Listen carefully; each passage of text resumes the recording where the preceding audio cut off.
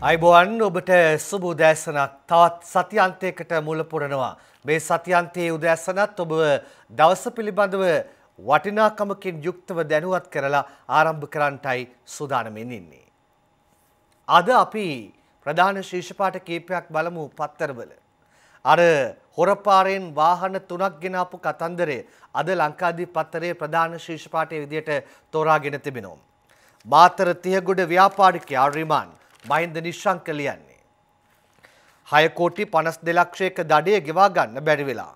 පාවිච්චි කරන ලද යන්ත්‍රෝපකරණ බව සඳහන් කොට නීති විරෝධීව මෙරටට මොන්ටේනෝ ජීප්‍රතියක් ඇතුළු වාහන තුනක් ගෙන් වූ මාතර තිහගොඩ ප්‍රදේශයේ වාහන ආනයනකරුවෙකුට රුපියල් 6 කෝටි 52 ලක්ෂයක දඩයක් නියම කොට වාහන තුනත් වාහන අමතර කොට සියල්ලත් රාජසන්තක කළ බව රේගු සඳහන් කරනවා. දඩයක් ගෙවන්නට යන්නේ නැහැ. ඒක ගෙවන්න නැතුව හොරපාරෙන් වාහන තුන පන්නගෙන යන්න හදනවා. අවසානයේදී සියල්ල අහිමි වෙලා ඔහුටම දඩයක් ගෙවන්නටත් සිදු වෙනවා. බලන්න නේද සිද්ධ වෙන දේවල්. වැරදි දෙයක් කරන්න හැදුවොත් එහෙම තමයි. දිනමින ප්‍රධාන ශීර්ෂපාට දෙකයි අද. ඒ දෙකේ එකක් චෝදනාවක් පිළිබඳව නඩු පැවරීමක්. අනික අභියෝග කරන්න බැහැ කියලා කියන කතන්දරයක්. අපි බලමු පළවෙනියට ප්‍රධාන ශිෂ්පාටය. ව්‍යාපාරිකයෙක්ගෙන් මිලියන 64ක් ලබා ගත්තැයි ප්‍රසන්න රණතුංගට බිරියට නඩු කුමුදු හෙට්ටිආරච්චි වාර්තා කරන්නේ. කොළොන්නාව මීතට මුල්ල ප්‍රදේශයේ ඉඩමක පදිංචි අනවසර පවුල් 24ක් ඉවත් කර එම ඉඩම ලබා දෙන බවට පවසා ව්‍යාපාරිකයෙකුගෙන් රුපියල් මිලියන 64ක මුදලක් ලබාගත් බවට බස්නාහිර පළාත් හිටපු මහ ඇමති පාර්ලිමේන්තු මන්ත්‍රී ප්‍රසන්න රණතුංග හා ඔහුගේ බිරිය වන බිරියටත් ව්‍යාපාරිකයෙකුටත් එරෙහිව අධිචෝදනා 15ක් යටතේ නීතිපතිවරයා කොළඹ මහාධිකරණයේ නඩු පැවරුවා කියලා පත්තරේ වාර්තා කරලා තියෙන ආකාරය අපිට දැක බලා ගන්නටයි හැකියාව ලැබෙන්නේ. ඒ අතරතුර දිනමින පත්තරයේ ලියන අනිත් ප්‍රධාන ශීර්ෂ පාඨය ඔබට ඉදිරිපත් කරන්න දැන් සූදානම්. විරෝධතා ගොනු කිරීමට අවසර ජාතික ආණ්ඩුවට අභියෝග කරනු බෑ. ජනාධිපති නීතිඥ රොමේෂ් ද සිල්වාගේ ප්‍රකාශයක් වාර්තා කරන්නේ නිල්කා මැදගෙදරයි. වැඩදුර වාර්තාව ඉදිරිපත් කරන්නටයි මෙන්න අපි සූදානමින් ඉන්නේ ඔබට. දැනට පවතින ජාතික ආණ්ඩුව ජනාධිපතිවරයාගේ මැදිහත්වීම මත පිහිටවුවක් නිසා එය අධිකරණයේ හමුවේ අභියෝගයට ලක් කළ නොහැකි බව. අග්‍රාමාත්‍ය රනිල් වික්‍රමසිංහ මහතා ප්‍රමුඛ කැබිනට් මණ්ඩලය වෙනුවෙන් පෙනී සිටි ජනාධිපති නීතිඥ රොමේෂ් ද සිල්වා මහතා ඊයේ ශ්‍රේෂ්ඨාධිකරණයට කියා සිටිනවා. ඒ අනුව ජාතික ආණ්ඩුව අභියෝගයට ලක් කර ඇති මූලික අයිතිවාසිකම් පෙත්සම් සම්බන්ධයෙන් සීමිත මූලික විරෝධතා කීපයක් ඉදිරිපත් කිරීමට තිබෙන බවත් ඒ මහතා සඳහන් කරනවා. කතන්දරය විරෝධතා ගොනු කිරීමට අවසර දීමක් ජාතික ආණ්ඩුවට අභියෝග කරන්න බෑ කියලායි ජනාධිපති නීතිඥවරයා තර්ක කිරීමක් කළා තියෙන්නේ. දැන් අපි යන්නේ දිවයින පත්තරේ ප්‍රධාන ශිෂ්පාටයට. අර තිලින ගමගේ විනිසුරුවරයාගේ කතාව දුරදිග ගිය ආකාරයක් දක්නට ලැබුණා. ඒ අතරේදී ඇප ලබාගෙන යනවා. ඇප නොතබා ඇප ලබාගෙන යනවා කියලා චෝදනාවක් එල්ල වෙනවා. දිවයින ප්‍රධාන ශිෂ්පාටය ලියන්නේ මේ විදිහටයි. ඇප නොතබාම තිලින මාරුවේ. ඒජේ අබේනායක වාර්තා කරන්නේ. ඒත් ඊයේ ඇප බඳී නීති විරෝධී අන්දමින් අලියෙකු සන්තකයේ තබා ගැනීමේ චෝදනාව එල්ල වී තිබියදී අධිකරණයට භාරවීමෙන් පසුව පෙරේදා පසරුවේ ගොංගඩවිල මහේස්ත්‍රාත් අධිකරණය මගින් අපමත මුදාහරිනු ලැබූ හිටපු කොළඹ අතිරේක මහේස්ත්‍රාත් තිලන ගමගේ මහතා එදින අධිකරණයෙන් පිටව ගොස් ඇත්තේ. අධිකරණයේ නියම කළ රුපියල් ලක්ෂ පහක මුදල් ලැබේ. අධිකරණය හමුවේ තැන්පත් කිරීමකින් තොරව බව අධිකරණ ආරංචි මාර්ග සඳහන් කරනවා. මේ පිළිබඳව විරෝධතා එල්ලවීමක් සිදු වුණා ඇප නොතබාම තිලින මාරුවේ ඒත් ඊයේ ඇප බඳී කියලා අද දිවයින ප්‍රධාන ශීර්ෂ පාඨයට අරගෙන එද්දී මේ කාරණාව පිළිබඳව තවත් සංවාදයක් මතුවලා තියෙනවා. ඒ පත්තර දෙකක්ම අද වාර්තා කරලා තියෙනවා. එකක් ලංකාදීප පත්තරේ. මාදුන් නියෝග සද්දට බයේ වෙනස් කරන්නේ නැහැ. කොළඹ ප්‍රධාන මහේස්ත්‍රාත් ගියාන් පිළිපිටිය අලිනඩුවේදී කියයි. නිරංගි අබේවික්‍රම ලියන්නේ. තමා දුන් නියෝග සද්දවලට බයේ ආපස්සට ගැනීමට සූදානම් නැතැයි කොළඹ ප්‍රධාන මහේස්ත්‍රාත් ග්‍යාන් පෙළපිටිය මහතා ඊයේ රජයේ ජ්‍යෙෂ්ඨ නීතිඥ දිලීප පීරිස් මහතාට ප්‍රකාශ කරනවා. අතිරේක මහේස්ත්‍රාත් තිලන ගමගේ මහතා සම්බන්ධ නඩුවේදී ගංගොඩවිල මහේස්ත්‍රාත්වරයා පවසා ඇත්තේ අලි ඇතුන් පොදු දේපල පනතට අයිති නොවන බවයයි සඳහන් කරමින් මහේස්ත්‍රාත්වරයා මෙසේ ප්‍රකාශ කළේ බලපත්‍ර නොමැතිව අලියැතුන් සන්තකයේ තබාගත් බව කියන සිද්ධියට අදාළ නඩුව ඊ අධිකරණයේදී යළි කැඳවූ අවස්ථාවේදී. එතකොට මේ මහේස්ත්‍රාත්වරයා සහ රජයේ නීතිඥවරයා අතර ගත වුණු හුවමාරු වුණු වචන කීපය දිනමින පත්තරේ මේ විදිහට වාර්තා කරලා තියෙනවා. සද්දට බය නැහැ. දුන්නියෝග ආපස්සට ගන්නෙත් නැහැ. කොළඹ ප්‍රධාන මහේස්ත්‍රාත් ගිහාන් පෙළපිටිය කියන්නේ සිරංජනී කුමාරී වාර්තා කරන්නේ. ඊළඟ කතාවත් එතනම පහලින් තියෙනවා. මගේ සද්දට බිය වී තු නැහැ. නීති රාමුවේ ක්‍රියා කරන්න රජයේ නීතිඥ දිලීප පේරිස් සද්දවලට බයේ තමාදුන් නියෝග අපසට ගන්නට සූදානම් නැතැයි කොළඹ ප්‍රධාන මයස්ත්‍රාත් ගියන් පෙළපිටිය මහතා ඊයේ ව්‍යාජ බලපත්‍ර සහිත අලි පැටවකු ළඟ තබා ගැනීමේ නඩුව කැඳූ අවස්ථාවේදී නීතිපති දෙපාර්තමේන්තුව නියෝජනය කළ රජයේ ජ්‍යෙෂ්ඨ නීතිඥ දිලීප පීරිස් මහතා වෙත දැනුම් දුන්නා. ඔහු දැක්වූ ප්‍රතිචාරයත් පත්තරේ ශීර්ෂ පාඨයකින් වාර්තා කරලා තියෙනවා. අද කතා ගණනාවක් නේද? ඒ අතරේදී කොළඹ කොටුව අවට ප්‍රදේශයේදී ජයිප පැවැත්වූ විරෝධතාවය චාරූපයක් මගින් ලංකාදීපය ප්‍රධාන පිටුවට වාර්තා කරනවා. බදු බරට එරෙහි ජයිප පාගමනය. එයයි ශිෂ්පාටය දීලා තියෙන්නේ සඳහාම. ජනතාව මත පටවන ලද අසාධාරණ බදු බරට එරෙහිව සටන් කරමු යන මෙයින් ජනතා විමුක්ති පෙරමුණ සංවිධානය කළ පාගමනක් මරදාන ටෙක්නිකල් හන්දියේ සිට කොටුව දුම්රිය පොළ දක්වා ඊයේ පැවැත්වුණා.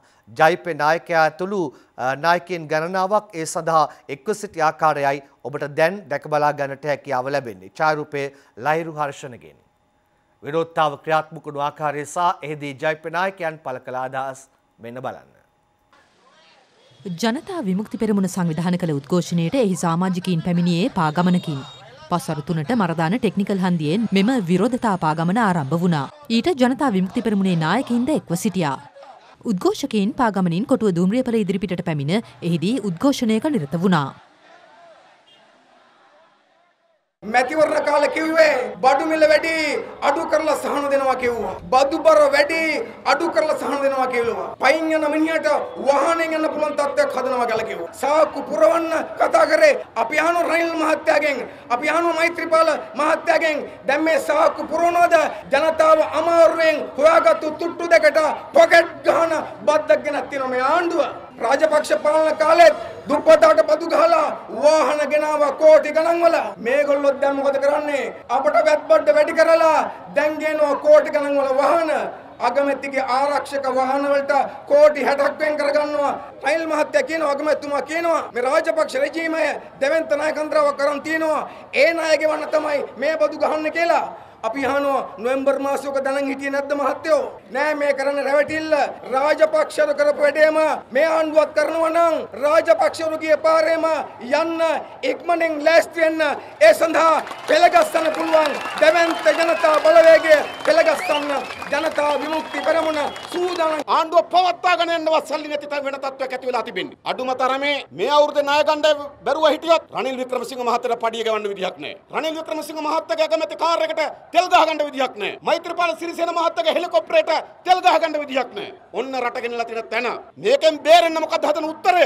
නැවත ණය ගැනීමත් ජනතාව මත බරපැටවීමක් තමයි සිද්ධ කරලා තිබෙන්නේ. රනිල් වික්‍රමසිංහ මෛත්‍රීපාල සිරිසේන මහත්තයාගේ හවුල් ආණ්ඩුව හවුලක් තමයි. හැබැයි ගැට ගැහිලා තියෙන්නේ ලිහිල්වා. වැලි යොතින් ගඩ ගහ ගැට ගහපු ආණ්ඩුවක් මේක. එක පැත්තකින් රනිල් වික්‍රමසිංහ මහත්තයා මෛත්‍රීපාල මහත්තයාට එරෙව යටි කුට්ටු වැඩ කරනවා. මෛත්‍රීපාල මහත්තයා රනිල් වික්‍රමසිංහ මහත්තයාට එරෙව යටි කුට්ටු වැඩ කරනවා. මේ අවසන් සටන. මේකේ කඳවුරු දෙකයි තියෙන්නේ මොකද්ද?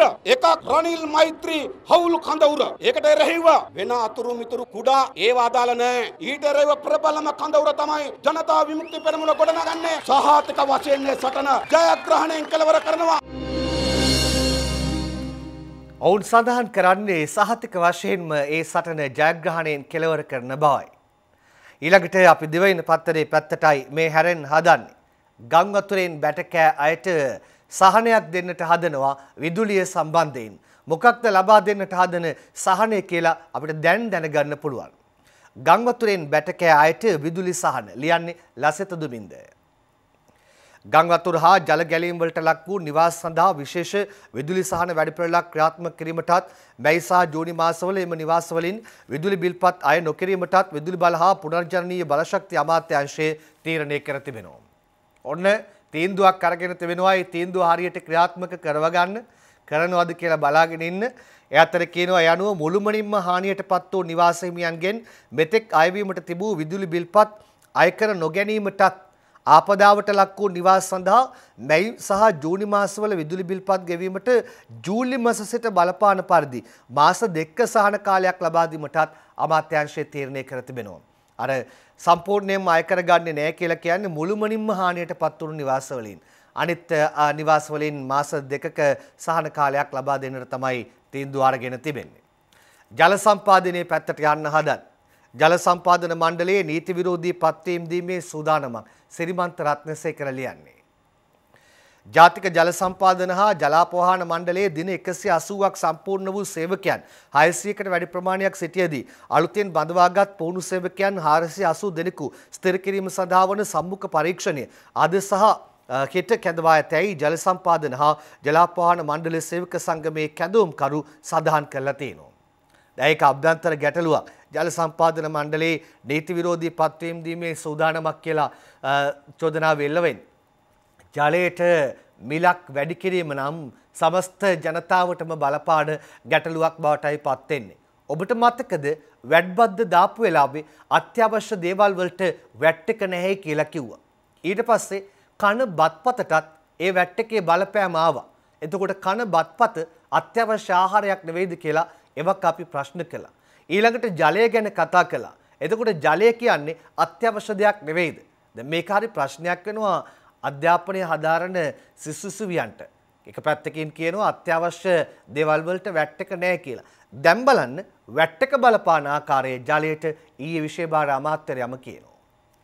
නගර සංවර්ධනය පිළිබඳ විශේෂ සාකච්ඡාවක් අද පෙරවරුවේ කටුගස්තොට ගුහගොඩ ජල සම්පාදන කාර්යාලය පරිශ්‍රයේදී අමාත්‍ය රව් ෆකින් මහතාගේ ප්‍රධානත්වයෙන් පැවැත්වුණා. එම රැස්වීමෙන් අනතුරුව මාධ්‍යවේදීන් නැගූ ප්‍රශ්නවලට පිළිතුරු දුන් අමාත්‍යවරයා. වසර හතරක් තිස්සේ අපි මිල සංශෝධනයක් කරලම නැහැ. ඒකනොත් වාසියක් පාරිභෝගිකයට තිබෙනවා. ඒ බැවින් මේ සුළු වැඩ ගාස්තු වැඩි කිරීමක් පිළිබඳව එතරම් ගැටලුවක් නැති බවයි මට පේන්නේ.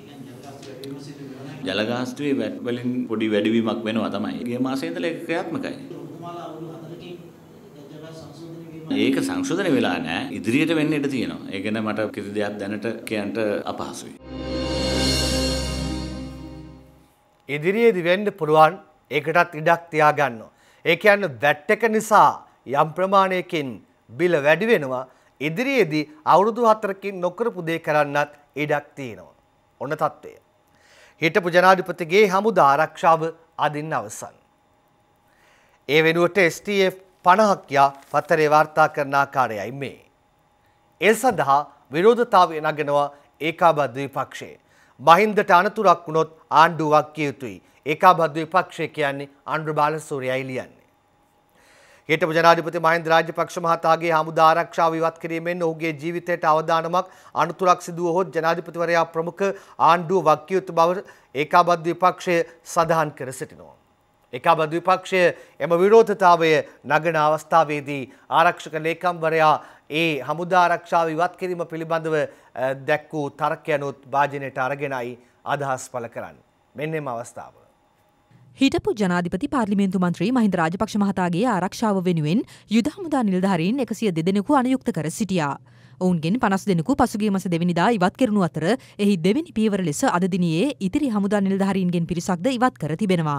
කෙසේ වෙතත් හමුදා ප්‍රකාශක බ්‍රිගේඩිය ජයනාත් ජයවීර මහතා සඳහන් කළේ සෙසු ප්‍රභූවරුන්ට මෙන්ම හිටපු ජනාධිපති මහින්ද රාජපක්ෂ මහතාගේ ආරක්ෂාව සඳහාද පොලිස් විශේෂකාර්ය බලකායේ සෙබලුන් සහ ප්‍රභූ ආරක්ෂාව පිළිබඳ විශේෂ පුහුණුවලත් නිලධාරීන් යොදවන බවයි. මේ අතර ඒකාබද විපක්ෂය කොළඹදී අද කැඳවා තිබූ ප්‍රවෘත්ති සාකච්ඡාවකදීද හිටපු ජනාධිපතිවරයාගේ හමුදා ආරක්ෂාව ඉවත් කිරීම සම්බන්ධයෙන් අදහස් පළ වුණා. මේ වෙළඳ පොළ විකෘතිවීම් යටතේ තමයි ආණ්ඩුවේ ආර්ථිකය දවස ගානේ කඩා වැටීම් වලට ලක් වෙන්නේ. එතෙන්දී ඇතිවෙන කලකිරීම, එතෙන්දී ඇතිවෙන විශාල විරෝධය මැඩපවත්ත ගන්න හදන්නේ ඒකාබද්ධ විපක්ෂේ සහ එහි නායකත්වයේ දරන මහින්ද රාජපක්ෂ හිටපු ජනාධිපතිතුමාට සහ ආරක්ෂක අංශවලට එල්ල බලා ප්‍රහාර එල්ල කිරීමෙන් අර අපේ මිතුරන් කියන අය නියෝග දෙනවා වහාම මහින්ද රාජපක්ෂගේ ඔය තියෙන සක්කයකින් තොරව ආරක්ෂාව දෙන්නට පුළුවන් කියන ඉන්න කණ්ඩායම ඉවත් කරලා දාන්න. අර කට්ටියක තියෙන බලපෑම මේ කට්ටියට දැන් නතර කරගන්න බෑ. මොකද ඒ කට්ටියගේ පහනෙන් තමයි මොවුන් එළිය දැක්කේ. ආරක්ෂක ලේකම්වරයා කියනවා ඔහුත් මෑත කාලය තුල විහිළු සපයන්නෙක් බවට පත් වෙලා තියෙනවා අවාසනාවට. ඔහු කියනවා මේ අකමැතිතුමාටත් නෑ ජනාධිපතිතුමාටත් නෑ මටත් නෑනේ කියලා කියනවා. කමාන්ඩෝස්ලා. අර පරණ පොල්වත්තක මුරකාරයෙක් තිබ්බත් වැඩි මං හිතන්නේ. වසර දෙදස් හයසීයක ලිඛිත ඉතිහාසය. මේ රට එක්සේසත් කරන්න සමත් වුණු යුගපුරුෂයන් ඉන්නේ අට දෙනයි. දෙදා සයසීයටම අටයි. නම් වශයෙන්ම කිව්වොත් දුටුගැමුණු රජතුමා, වලගම්බ රජතුමා, ධාතුසේන රජතුමා, පළවෙනි විජයබා රජතුමා, පළවෙනි පරාක්‍රම බහු රජතුමා, දෙවෙනි පරාක්‍රම බහු රජතුමා, හයවන පරාක්‍රම බහු රජතුමා, මහින්ද රාජපක්ෂ ජනාධිපතිතුමා. එතකොට මේ යුගපුරුෂයන් අට දෙනාගෙන් අද ජීවමානව සිටින්නේ මහින්ද රාජපක්ෂ මැතිතුමා පමණයි. ඉතින් එතුමට සුවිශේෂ වූ ආරක්ෂාවක් ලබා දීම පක්ෂ වේදයෙන් තොරව ජාතික වගකීමක් බවට පත් වෙනවා. රණ විදුවන්ට රිදවීමේ සීමාවක් තිබිය යුතුයි. එනිසා හමුදාව සමග කරන සෙල්ලම් ප්‍රවේශමෙන් කියලා අපි ආණ්ඩුවට අනතුරු ඇඟවීමක් කරනවා. පහුගිය වෙසක් පොය දවසේ අවුරුදු 2240ක් පරණ අපේ බුදු පිළිම වහන්සේ අරලියගහ මන්දිරයට බලහත්කාරයෙන් ගෙනහිල්ලා කෞතුකාගාරේ ඉඳලා මේ පිළිම වහන්සේගේ සිරස කැඩුවා. හරිනම් මේකට ගිය සියලු දෙනාම අද ඉන්න ඕනේ අත්අඩංගු. මේ සාපය මේ පිළිමයට කරපු සාපය මේ ආණ්ඩුවට වදිනවා. අපි පොල් ගහපු එක නෙමෙයි වදින්නේ මෙන්න පිළිමයට කරපු සාපය මේ ආණ්ඩුවට වදිනවා හෙට අනිත්. ඒ සාපේ වැදිලා මේ ආණ්ඩුව මේකෙන්ම තමයි ඉවර වෙන්නේ. ඒ අතරතුරදී මේ අය එක නමකින් සංවිධානයක් ගොනු කරගන්නට හදනවා. මේ අය කියන්නේ කවුද? ඒකාබද්ධ විපක්ෂයේ ඉන්න අය. ශ්‍රී ලංකා ජනබලය මහින්ද සමග පෙරට ශ්‍රී ලංකා නිදහස් පක්ෂ මන්ත්‍රී 41ක සංවිධානයක් ජයන්ත සමරකෝන් වාර්තා කරන්නේ. ඒකාබද්ධ විපක්ෂයේ නියෝජනය කරන ශ්‍රී ලංකා නිදහස් පක්ෂ මන්ත්‍රීවරුන් 41 දෙනා හිටපු ජනාධිපති මහින්ද රාජපක්ෂ මහතාගේ නායකත්වයෙන් යුක්තව ශ්‍රී ලංකා ජනබලය මහින්ද සමග පෙරට නමින් මින් ඉදිරියට වෙනම කණ්ඩායමක් ලෙස කටයුතු කිරීමට තීරණය කර ඇත. මෙන්න ලංකාදීපේ ලියන්නේ ප්‍රධාන පිටුවට වෙනම කණ්ඩායමක් විදියට කටයුතු කරන්න තීරණය කළා තියෙනවා කොහොමත් වෙනම කණ්ඩායමක් විදියට නමුත් විශේෂත්වයේ තියෙන්නේ ශ්‍රී ලංකා ජනබලය මහින්ද සමග පෙරට. එහෙම නමින් තමයි වෙනම ඉන්න හදන්නේ.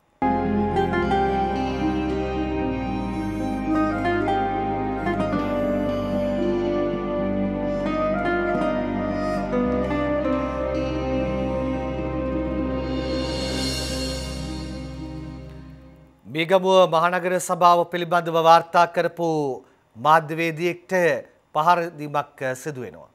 ඒ පිළිබඳව දැන් රාජ්‍ය අවධානය යොමු කරලා තිබෙනවා.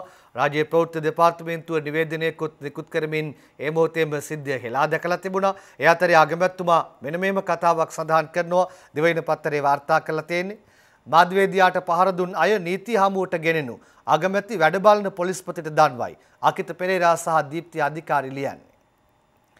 මේගමේදී මාධ්‍යවේදී ෆ්‍රෙඩී ගමගේ මහතාට පහර දීමේ සිද්ධියට සම්බන්ධ අය වහාම නීති හමුවට පමුණුන ලෙස අග්‍රාමාත්‍ය රනිල් වික්‍රමසිංහ මහතා වැඩබලන පොලිස්පති එස්.එම්. වික්‍රමසිංහ මහතාට උපදෙස් දී තිබෙනවා කියලා පත්තරේ වාර්තා කරනවා. මාධ්‍යවේදියාට පහර දුන් අය නීති හමුවට ගෙනෙනු.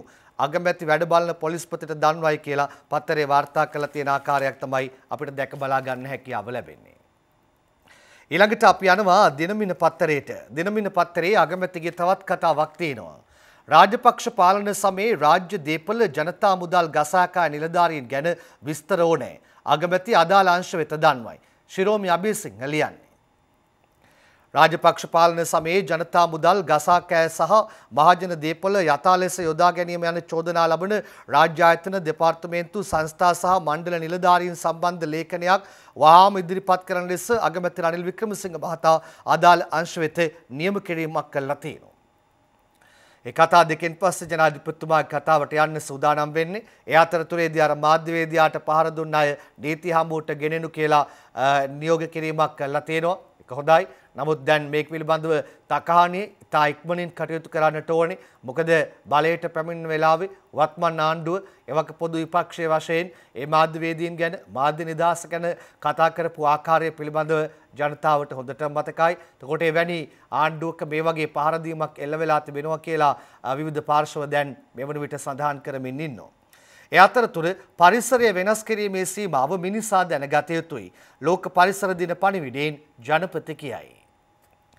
තම පැවැත්ම වඩාත් සුරක්ෂිත කර ගැනීම වෙනුවෙන් අත්‍යවශ්‍ය වූ නිවාස මම්මාවත් ආදිය වෙනුවෙන් ස්වභාවික පරිසරය යම් පමණකට වෙනස් කිරීමට මිනිසාට සිදුවද එහි සීමාව මිනිසා දැන සිටිය යුතු බව පරිසරය විටින් විට කරන අනතුරු ඇඟවීම් වලින් පැහැදිලි වන්නේ යැයි ජනාධිපති මෛත්‍රීපාල සිරිසේන මහතා සඳහන් කළා තියෙනවා.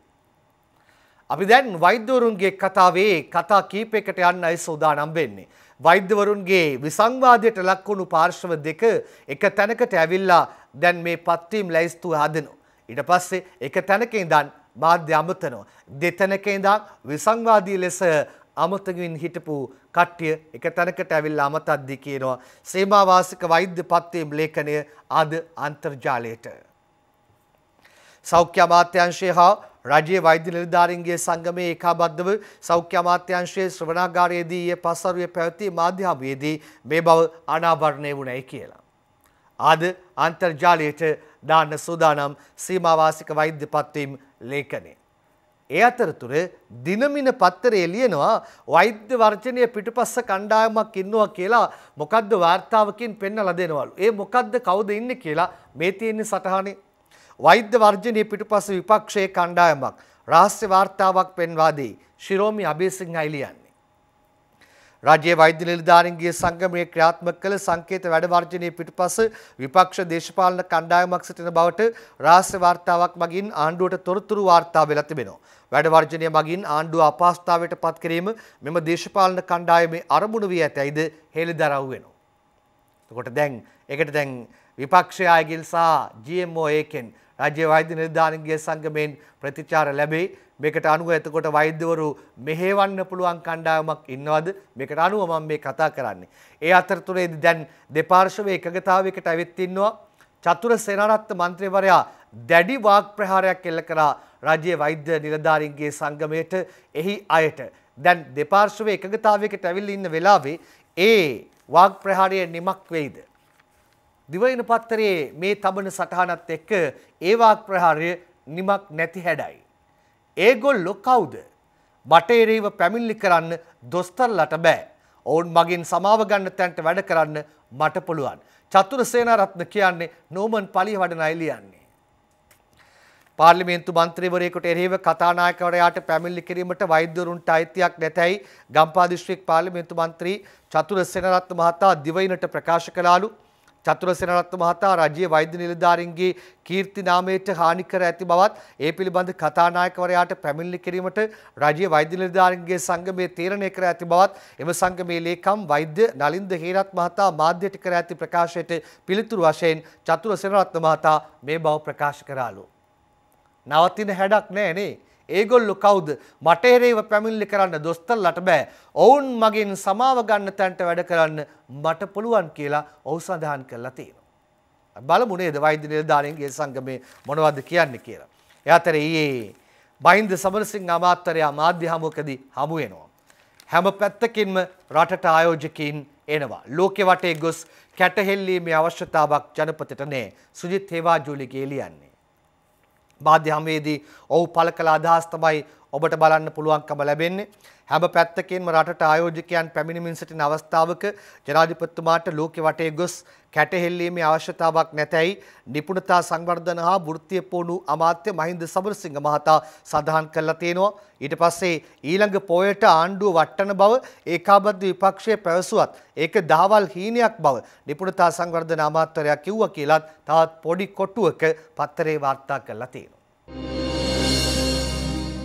මහින්ද සමරසිංහ අමාත්‍යරයා අදාළ මාධ්‍ය හමුවේදී මොනවද කිව්වේ කියලා දැන් බලන්න පුළුවන්. G7 සමුළුවට සහභාගි වෙලා රාජ්‍ය නායකයන් හත් දෙනාව මුණ ගැහිලා ආපු ගමන ඉදිරියේදී අපි යන ගමන විග්‍රහ කරන්නත් මුහුණ දෙන්න සිදු වෙලා තියෙන ආර්ථික අභියෝගවලට විසඳුම් ලබා ගන්නත් අපිට ලැබුණු හොඳම අවස්ථාවක් හැටියටයි මම දකින්නේ. අපි දැක්කා ඇත්ත වශයෙන්ම අතිගරු ජනාධිපතිතුමාව පිළිගත් ආකාරය. මම දන්නවා 2006 ඉඳලා ජෙනීවා මානව හිමිකම් කවුන්සිලයට සහභාගී වුණු කෙනෙක් හැටියට අපිට හොයාගෙන යන්න වුණා. ඒ නියෝජිතයෝ. මොකද ඒගොල්ලෝ අපි අපි කොන් කරලා තිබ්බ ආරාධනා ජනාධිපතිතුමාට ලැබෙමින් පවතින්නේ එතුමාගේ හැසිරීම රාජ්‍ය නායකයෙක් හැටියට ප්‍රශංසාවට ලක්වුණු නිසා. සමහරු හිතන්නේ ලෝකේ ප්‍රධාන රටවල් වලට යටත් වෙලා. ඒගොල්ලෝ කියන දේවල් කරන්න අපි ඉදිරිපත් වුණොත් පමණයි අපිට මේ වගේ ආරාධනා ලැබෙන්නේ කියලා. එහෙම දෙයක් නෑ මෙතන. සමහරුන් අපි ලැජ්ජාවට පත් කරා. එක්කෙනෙක් එක්සත් ජාතීන්ගේ සංවිධානයේ ගොඩනැගිල්ල ගාව සුයිසයිඩ්. මේ කරන්නත් ලෑස්ති කියලා වැඩපිළිවෙලක් ක්‍රියාත්මක වුණා. දැන් අර මේ ඊය පෙරේදා තිරිකුණාමලේ වුණ සිද්ධිය ලෝකෙට ඒ ගැන සාකච්ඡා කරන අය ඒ කාලේ හැසිරුණු ආකාරය ගැනත් අපේ මතකයේ තියෙනවා.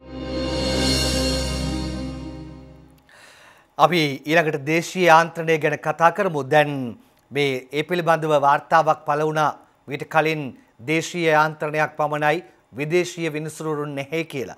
දේශීය යාන්ත්‍රණය ගැන හමුදා ලොක්කෝ දැනුවත් කෙරෙති. කීර්ති වර්ණකුල සූරිය ලියන්නේ. එල්ලවී ඇති යුද්ධාපරාධ චෝදනා සම්බන්ධයෙන් ස්ථාපිත කෙරෙන දේශීය යාන්ත්‍රණය පිළිබඳ ඉහළ පෙළේ හමුදා නිලධාරීන් කැඳවා කරුණු පැහැදිලි කිරීමට රාජ්‍ය කටයුතු දා තිබෙනවා. ඊට කලිනුත් කරුණු පැහැදිලි කිරීමක් ගැන වාර්තා වුණා. ඒක නෙමෙයි අපි යමු සබරගමුව විශ්වවිද්‍යාලයේ පැත්තට. ඊයේ සබරගමුව විශ්වවිද්‍යාලයේ පොඩි ගැටලු සාගත තත්ත්වයක් ආවා. ඒක මහා ගැටලුවක් බවට පත් වෙලා ගියේ නෑ. ඇමතිට නියෝජ්‍ය ඇමතිට විවෘත කරන්න ඉඩ දුන්නේ නෑ. පස්සේ නියෝජ්‍ය ඇමතිය පිළිබඳව සංවාදයක් ඇති වුණා. ඊළඟට වාහනේ උඩට නැග්ගා. අවසානයේදී ඒ විරෝධතාවයත් එක්ක අනුගත වුණු ආකාරයක් දක්නට ලැබුණා. සබරගමුවේදී තෙවරක් පෙරුම ගල් වෙයි. නිලන්ත මදුරාවල ලියන්නේ. මේ ඔබ දකිනවා වාහනේ උඩට නැගී නියෝජ්‍ය අමාත්‍යරයා ඉන්න ආකාරය අර රවුමෙන් පෙන්වන්නේ නියෝජ්‍ය ඇමති සබරගමේදී තෙවරක් පෙරුම ගල්වේ කියලයි ශීර්ෂ පාඨය ඒ සඳහා ලබා දීලා තියෙන්නේ. හොඳයි ඊළඟට අපි එය කොහොමද ලංකාදීපය වාර්තා කරන්න කියලා බලමු. මචං මල්ලි පුතා කතා රැවුදේ බලංගොඩ ගීත කරයි ලියන්නේ. නියෝජ්‍ය ඇමති තෙවරක් පෙරමුට සබරගම සරසවියට ඇතුළු වීමට ඉඩ නොදෙයි. මහගේට්ටු අසාගෙන සෙසූ විරෝධේ මචං මල්ලි පුතා කතා රැව්දේ.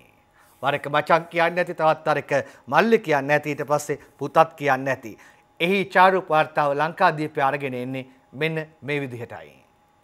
පේතියනීට අදාළ චාරු වාර්තාව වදන් වසසු විරෝධය දැක්වූ ආකාරයයි මේ සමීපයෙන් පේන්නේ ඈත ඔබ දකිනවා කෙනෙක් ඉන්නවා වාහනයක් උඩට නැගී ඒ ඇමතුමයි. නඩි ගානක් තියෙනවා කතාව සවිස්තරව බලලෙමු. අභ්‍යන්තර කටයුතු වයඹ සංවර්ධන හා සංස්කෘතික නියෝජ්‍ය අමාත්‍ය පාලිත තෙවර පෙරුම් මහතා අද පෙරවරුවේ බෙලිහුලෝය සබරකමෝ විශ්වවිද්‍යාලයට පැමිණියේ එහි සංස්කෘතික මධ්‍යස්ථානය විවෘත කිරීම සඳහායි. එහිදී සිසුන් නියෝජ්‍ය අමාත්‍යවරයාගේ පැමිණීමට විරෝධය පළ කළේ විශ්වවිද්‍යාලයේ පිවිසුම අසලදී. මෙම විරෝධය හේතුවෙන් පිවිසුම අසල නතර වීමට නියෝජ්‍ය අමාත්‍ය පාලිත තෙවර පෙරුම් මහතාට සිදු වුණා. පරණ කොට නැගිල්ලා ගියව සින්තාලේප කරේ මම සින්තාලේප කරලා මම පාලා තියෙනවා. මේ එතන කියලා විවෘත කරන්න දෙයක් නැහැ. මෙතන විවෘත කරන්න දෙයක් නැහැ. ඒක පැහැදිලි විවෘත කරන්න දෙයක් නැහැ. විවෘත කරන්න නෙවෙයි. අපි මේකෙන් බලමු අඩු පාඩු. ඕක කියන්නේ බලන්න. බලන්න මේ මහජනතාවගේ සල්ලි නෙමෙතුමා. දර ඇමතිවරු විවෘත කරලා සංදර්ශන පවත්වන්න ඕනේ නැහැ මෙතන. උපකුපතුමාලා විවෘත කරගන්න එක විවෘත කරන්න ඕන නම් ඒ විවෘත කරන්න ඕනෙත් නෑනේ. ඒ ඉන්න අයියලා වැඩ කරන් යන්න පුළුවන් නේ. ඔන්න බලන්න යන්න කොහොමද ඔයගොල්ලෝ මට මේක වැරදි කියලා කියන්නේ මෙතන බලන්න යන්න දෙන්නේ නැතුව. බලන්න යන්න දෙයක් නැහැ. අයියනවලි අයියනෝ. යන්න. මල්ලි මල්ලි බිමාරි ඇමැත්තුමා ශිෂ්‍යයන්ගේ ජීවිතවලට යන්න ලෑස්ති වෙන්න එපා. ශිෂ්‍යයන්ගේ ජීවිතවලට තමයි කියලා තියෙන්නේ. අපා ඒක අපි දන්නවා. ඒක තමයි මේ විරෝධය. පාර්ලිමේන්තුවේ දෙන්න මෙතන බෑ. හරි හරි හරි බර පාර්ලිමේන්තුව දෙකයි මට මෙතනත් දෙකයි. හරි හරි. ඇමතුමාලා එකයි කතාව. ඒත් ඇමතුමා ඉදිත් අපි විරුද්ධ වුණා. දැන් ඕගොල්ලන්ගේ ඔය විරෝධතාවය ඉන්න කට්ටිය ඔරව ඉන්නවනේ. මගෙත් දැන් දන්න බලන්න. ඊළඟ නේද අනතුරුව තම මෝට රථයට නැගී නියෝජ්‍ය අමාත්‍යවරයා සිසුන් සමග අදහස් හුවමාරු කරගත්තා.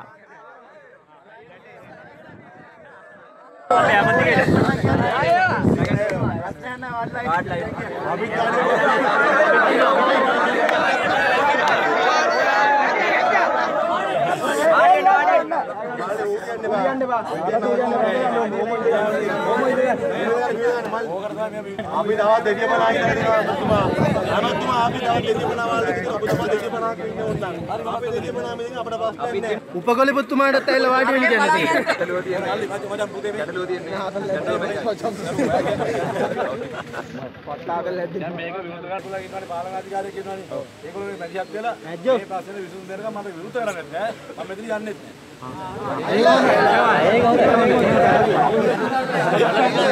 ප්‍රශ්න වගේ තියෙනවා ලංකාවේ 185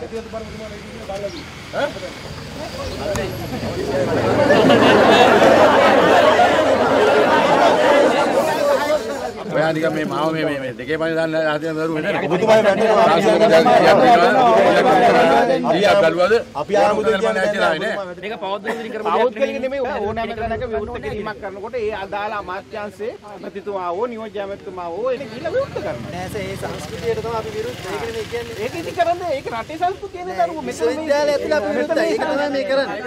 අධ්‍යාපනයට අද අතුලවතුමා අද හැලුවලා තියෙන්නේ. අධ්‍යාපන භාරවේදී පිස්සෝ. ඔළුව හොන දුටියක් ඉන්නේ. ඔයගොල්ලෝ කතා කරන්නේ ඔයගොල්ලෝ බොරු ටිකක් ගන්න නැහැ මෙතන. මේ ලොකෝ කොටි පෙතක සහ දරුවෝ නේ. පුංචි අහිංසක දුප්පත් බැරි බැරි බැරි. ඒවා මේක දරුවෝ.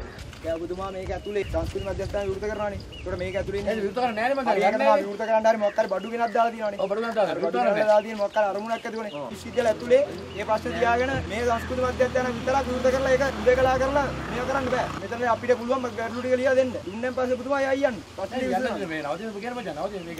කිය මේකේ තියෙන ප්‍රශ්න ටික විසඳන්න පුළුවන් නැහැ කියලා. දරුවෝ මේ අහගන්නකෝ. දැන් ප්‍රශ්න එකකින් කතා කරු. දැන් ආයේ සංස්කෘතික මධ්‍යස්ථාන විතරනේ. ඒගොල්ලෝ කියන විරුද්ධයිනේ. මමත් විරුද්ධයි වයි වයි විරුද්ධ වෙනවා. එහෙනම් ඔබතුමාට විවෘත කරන්න වෙන ඔබතුමා යන්න ඕන. දැන් ඕගොල්ලෝ අරමුණ මාව ඇරීමද? යකෝ සංස්කෘත නියෝජ්‍ය මැදලා මෙතන අදාළ නැත්නම් මේ මොකද්ද මේ අදාළ මෙතන? ඕගොල්ලෝ වෙනුවෙන් මේ ප්‍රශ්න පිළිබඳව උපකරු දාතේ කතා කරලා මේවට දෙන්න පුළුවන් විසඳුම් මොනවද? දෙන්න බැරි විසඳුම් මොනවද? දෙන්න පුළුවන් කොයි කාර්යද? ඒ ඒ දැනගන්න මම ආවේ. ඒවා ඉල්ලන්න ඕනේ. ඕගොල්ලෝ පාලනාධිකාරියව දේශපාලන දානවා. දේශපාලන ලෙයියගේ පිට. බොනට් එකක් උඩ සාකච්ඡා කර එම කරන්න බෑ. සාකච්ඡා කරන්න මේසයක් තියෙනවා. අපි මේ ළමයි එක්ක ඕන තරම් සාකච්ඡා කරනවා. දැන් ඊයේ ඊයේ හවසත් මේ ළමයි එක්ක සාකච්ඡා කරා. ගෙනාවු ප්‍රශ්න විසඳලා දුන්නා.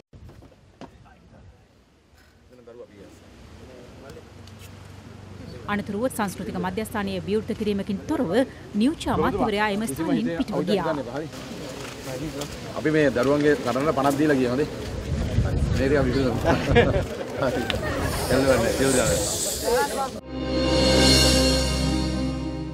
හරි. එල්ලවන්නේ සියලු මතුවුණු තත්ත්වය ඇතිවුණු තත්ත්වය සවිස්තරවයි ඔබට ඒ ගෙනාවේ.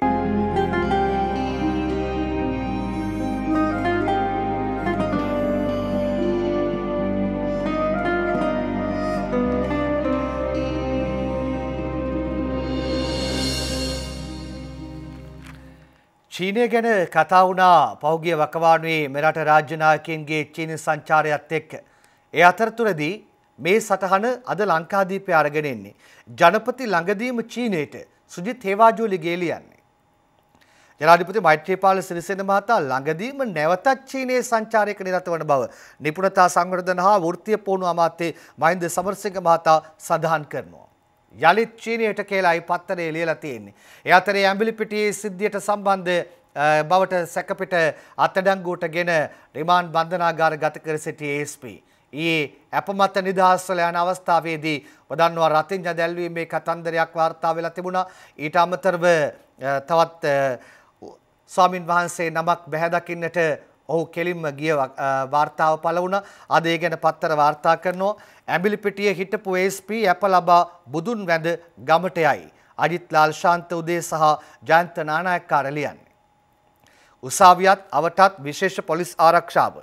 ඇප නියම වූ ඇඹිලිපිටියේ හිටපු සහකාර පොලිස් අධිකාරී චමින්ද ධර්මරත්න මහාධිකරණයේ නියම වූ ඇප කොන්දේසි කියවාදී ඇප අත්සන් කිරීමෙන් අනතුරුව ඔහු මුදාහරින් ලෙස ඇඹිලිපිටිය අතිරේක මහේස්ත්‍රාත් ප්‍රසන්න ප්‍රනාන්දු මහතා ඊයේ නියම කළා. සැක්කරු කුරුවිට බන්ධනාගාරයේ සිට ඊයේ පෙරවරුවේ බන්ධනාගාර බස් රථයෙන් ඇඹිලිපිටිය අතිරේක මහේස්ත්‍රාත් අධිකරණය වෙත ගෙනාවා. ඊට පස්සේ බුදුන් වැඳ ගමට ගියා කියලා පත්තරේ වාර්තා කරන ආකාරයයි අපිට දැක බලා ගන්න පුළුවන්කම ලැබෙන්නේ. දැන් මේ ඊළඟට රුපියල් 1000 ඒවා කොහෙන් හරි ගන්නකොට ටිකක් පරිස්සමෙන්. මොකද ඔබ දන්නවා 1000 ඒවා ගැන හොර නෝට්ටු වාර්තා අපිට පළ වුණා. 1000 හොර නෝට්ටු ගහලා. මෙන නැවතත් සටහනක් ඇවිල්ලා තියෙනවා. රුපියල් 1000 මුදල් නෝට්ටු හොරට මුද්‍රණය කොට දිවයින පුරා ගොස් මාරු කරන ජාවාරම කෙදුණු තිදෙනෙක්. නෝට්ටු 50ක් සමග පෙරේදා රාත්‍රී විශේෂ කාර්ය බලකායේ ප්‍රභු ආරක්ෂක කොට්ටාශයේ කැලණිය කඳුරේ නිලධාරීන් කණ්ඩායමක් විසින් අත්අඩංගුවට අරගෙන තියෙනවා කියලා පත්තරේ වාර්තා කරනවා. බලාගෙන රුපියල් 1000 වාර ගනිද්දි මාරු කරලා ගනිද්දි 5000 කොලයක් මාරු කරාම 1000 පහක් යනවනේ. බලාගෙන ඒවා කටයුතු කරද්දී හරි නෝට්ටුද හොර නෝට්ටුද කියලා ටිකක් කල්පනාවෙන් ඉන්න. LTT ඇමරිකාවේ තවදුරටත් තහනම් මහින්ද අලුත් ගෙදර ලියන්නේ. LTT ත්‍රස්ත සංවිධානයේ තවදුරටත් තහනම් සංවිධානයක් ලෙස නම් කිරීමට ඇමරිකා එක්සත් ජනපදයේ තීරණය කර තිබෙනවා. විමල් ජයන්ත වීර කුමාර ඇතුළු හත් දෙනෙකුට පැමිණිලි ගොනු කිරීමට නියෝග සිරංජිනී කුමාරි ලියන්නේ. අල්ලුසේන් කුමරු ශ්‍රී ලංකාවට පැමිණීමට විරෝධය දක්වා ජාතික නිදහස් පෙරමුණේ මහජනයාට පීඩාවන අයුරින් උද්ඝෝෂණයක් පැවැත්වීමේ සිද්ධියට අදාළවයි මේ පැමිණිලි ගොනු කිරීමට නියොග කර තිබෙන්නේ. ප්‍රධාන පිටුව අවසන් අපි අතුල් පිටු වාර්තා කීපයකටයි ඔබ රැගෙන යන්නට සූදානම් වෙන්නේ. ඒ අතරතුර තාජුඩීන් සිද්ධිය සම්බන්ධයෙන් පොලිස්පතිවරයාගේ පැත්තට දිගුවන ඇඟිල්ල තවදුරටත් වැඩි වන ලකුණුයි පහ වෙලා තියෙන්නේ. දේශපාලන ධාරාවේ සිවිල් සංවිධාන අය මෙය පොලිස්පතිගේ නොදනුවත්භාවය පිළිබඳව නගන ප්‍රශ්නය නීතිය ක්‍රියාත්මක කරන්න ඕනේ කියන කතන්දරය පිළිබඳව අපි දැන් අවධානය යොමු කරමු. පසුගිය රාජපක්ෂ පාලන සමයේ සිදු කරලා වසන් කරන ලද ඝාතන අතර වසීම් තාජුදීන් ඝාතනයේ පෙරමුණීම තිබෙනවා. අනුසේනානායක නියෝජ්‍ය පොලිස්පතිවරයා විශ්‍රාම ගන්නවට පස්සෙත් මේ පරීක්ෂණ යට ගියා සාක්ෂි යටපත් වුණා. මේක සිද්ධ වුණේ හිටපු පොලිස්පතිවරයාගේ කාලෙදී. ඒ නිසා වහාම හිටපු පොලිස්පතිවරයා මේ ඝාතනයට සම්බන්ධයයි සැලකෙන සියලු දෙනා වහාම නීතිය හමුවට ගේන්න ඕන. එහෙම කරොත් තමයි මේ යහපාලනයේ පොරොන්දු වෙච්ච දේවල් ඉෂ්ට කරනවා කියලා ජනතාවට ඒත්තු යන්නේ. අපි දැක්කා මුලින්ම මේ මේක සම්බන්ධයෙන් නාරායන්පිටියේ පොලිසිය ಸೇರ್ ಅಥವಾ ಅನ್ನೋ ವಾಯ್ಸ್ ಸಿಗತ್ತ ඊට පස්සේ සති දෙක තුනක් ඇදලා ඇදලා ඇදලා තමයි ඊළඟට අනුර සේනානායක අරන් තියෙන්නේ. දැන් අපි දන්නවා ජ්‍යෙෂ්ඨ නියෝජ්‍ය පොලිස්පති අනුර සේනානායක කියන්නේ කොයිතරම් දුරට තාජුදීන් ඝාතනය සම්බන්ධයෙන් ක්‍රියාත්මක වුණාද? නමුත් ඇත්ත ප්‍රශ්නේ මොකද්ද? මේ ඝාතන වලට සම්පූර්ණයෙන්ම අනදුන්නේ කවුද? දැන් අනුර සේනානායකගේ උඩින් හිටපු පොලිස්පති විශ්‍රාම ගිහිල්ලා ඉන්න MK ළඟකෝන් මහත්මයා පැහැදිලිවම මේකට වගකීතු පුද්ගලෙක්. පොලිසිය මේ වගේ දෙයක් හංගනයකදී පොලිස්පතිවරයා නොදැන ඉන්න විදියක් නැහැ. ඒක නිසා විශ්‍රාම ගිය පොලිස්පතිවරයාගේ මේකේ ප්‍රශ්න කරන්නේ කවදද? ඔහු සම්බන්ධ නීතිය ක්‍රියාත්මක කරන්නේ කවදද? අනිවාර්යයෙන් මෙරට ජනතාව බලන් ඉන්නවා. අනිවාර්යයෙන්ම ආයතනයක සිද්ධියකට ප්‍රධානියා වග කියන්නට වෙනවා. පොලිසියේ ප්‍රධානියා කවුද? පොලිස්පති. එතකොට මේ සිද්ධිය වුණු අකවාඩුවේ ඔබට මතකද මාධ්‍ය වාර්තා සමාජ ජාල වෙබ් අඩවි කොයිතරම් මේ ගැන පුවත් ගියාද කියලා. එතකොට දන්නේ කියලා කියන්නේ කොහොමද? බබෙක් වගේ දන්නේ කියලා කියන්න පුළුවන්ද? උත්තර බඳින්න වෙනවා. නීති අනිවාර්යයෙන්ම ක්‍රියාත්මක විය යුතු තිබෙනවා. එයයි මේ දේශපාලන ධාරාවේ සහ සිවිල් සංවිධානවල අය වරින් වර නිතරම අවධාරණයෙන් කියන්න ගන්නේ. දැන් අපි අතුල් පිට වාර්තා කීපයක් කෙටියෙන් බලමු වෙලාවත් එක්ක ලංකාදීපේ වාර්තා කරනවා ආණ්ඩුව දැන් මුත්‍රා පරීක්ෂණයනුත් බදු අය කරන තැනට ඇවිත්. ජයිපේ නායක අණ්ඩු කුමාර දිසානායක වලස් මුල්ලේදී කියන්නේ. ඒ අතර කියනවා කප්පරක් හොරු වටේ තියන් රට සිංගප්පූරුවක් කරන්න පුළුවන්ද. කප්පරක් හොරු වටේ තියන් රට සිංගප්පූරුවක් කරන්න පුළුවන්ද කියලා අය ඔහන්නේ. අට්ටමලේ කන්දේ ගල් පෙරලිලා නාය අවදානමෙන් පවුල් එකසිය තුනක් ඉවතට. වාර්තා කරන්නේ රවීන්ද්‍ර වෙලගෙදර මේ බුලත් කෝපිටියේ තත්ත්වයක් තවත් නාය අවදානමක් පවුල් එකසිය තුනක් ඉවත් කර තිබෙනවා.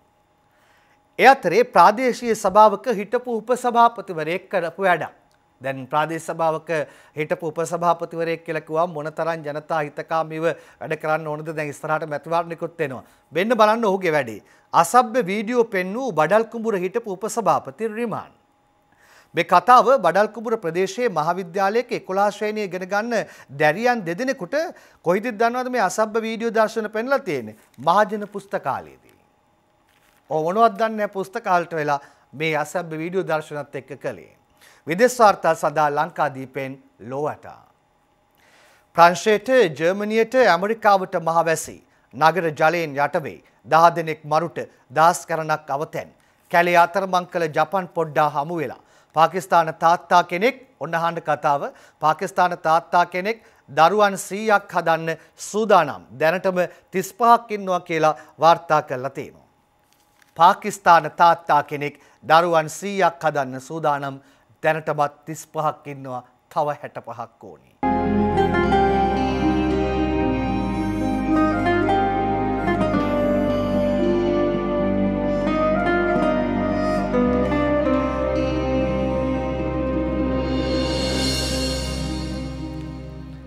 කාටූන් පෙළටයි මේ සෝදානම් වෙන්නේ අපි ට්‍රැෆික් බද්ධයෙන් අද කාටූන් පෙළ ආරම්භ කරමු මෙන්න දිනමිනේ ප්‍රීති කන්නංගරගේ කාටූන් එක බලන්න. මීළඟට බස්රථ ධාවනය වන ආකාරයයි මේ පෙන්වන්න තියෙන්නේ. මේ බලන්න බස්රථය යනවා ඉස්සරහින් හරකෙක් ගැට ගහලා. මොකද්ද හරකට දාලා තියෙන නම ට්‍රැෆික් බද්ධ කියලායි නම දාලා තියෙන්නේ. එතකොට කවුරු කවුරුන් හරක කියලා හිතනවද දන්නේ නැහැ නේද? මේ ට්‍රැෆික් බද්ධ පිළිබඳව කාටූන් එකක්.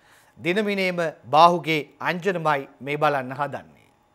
පුවතක් තියෙනවා බුලත් සිංහල ගුරුවරියක් බාලාංශ සිසුන්ට මකන කෑලි කෝටු කෑලි කවල කියලා. ඒක අහලා බාහු කියනවා ගෘහ විද්‍යාත්මක පාඩමක් වෙන්න ඇතිමයි හිතේ කියලා. මතක ඇති නේද ඒ සිසුවියගේ කතන්දරය. ඊළඟට වැස්සටවත් පාසල් නොගිය අය පාර්ලිමේන්තුවේ ඉන්නවා කියලා කියපු කෙනාට බෙම්පියා දෙන උත්තරය. මේ දිවයිනේ තරස්වෙන්ගේ බෙම්පියා.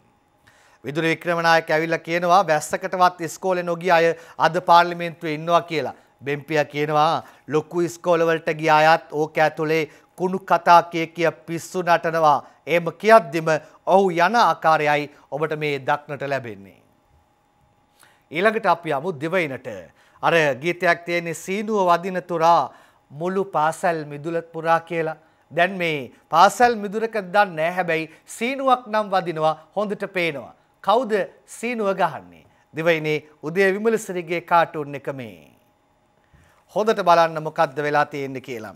මේ කාටූන් එක අතරතුරදී අපිට බලා ගන්න පුළුවන්කම ලැබෙනවා අවස්ථාවක් මේ බලන්න සීනුව නාද කරන්නේ කවුද වෙන කවුරුත් නෙමේ සීනුව නාද කරන්නේ ජයිපේ නායකයා කවුද මේ කන් දෙක වහගෙන බොහොම අමාරුවෙන් ඉන්නවා වගේ පේන්නේ අග්‍රාමාත්‍ය රනිල් වික්‍රමසිංහ මහතායි බොහොම අමාරුවෙන් ඉන්නවා වගේ පේන්නේ ඊළඟට අපි ජයිපෙම තවත් වැඩක් බලන්නට සූදානම් වෙනවා ලංකාදීප පත්තරේ පැත්තට ගිහිල්ලා ලංකාදීපේ දාසගේ කාටූන් එක උපුටා ගන්නටයි සූදානම් වන්නේ. මෙන්න මේ බලන්න ජයිපේ නායකයා ජයිපේ ලේකම්තුමා සමග එක් වෙලා තඩිබාන කොහෙටද ගහන්නේ? වැට් එකට ගහන්නේ. තාප්පයක් වගේ නේද පේන්නේ. වැට් එකට පහර දෙන ආකාරයක් තමයි දක්නට ලැබෙන්නේ. මුවහමක් නන් නෙවෙයි තියෙන්නේ. වැට් එකට ගහන පහර මොහාමට තඩිබානුවා වගේ වෙයිද. අපි දැන් කවියක් බලන්න යන්නේ ලංකාදීපයට.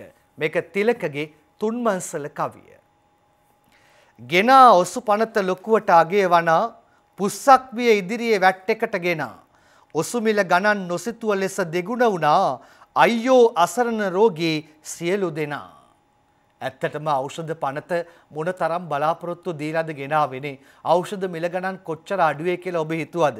ගෙනා ඔසු පනත ලොකුවට අගය වනා පුස්සක් විය ඉදිරියේ වැට් එකට ගෙනා. ඔසු මිල ගණන් නොසිතුව ලෙස දෙගුණ වුණා අයියෝ අසරණ රෝගී සියලු දෙනා.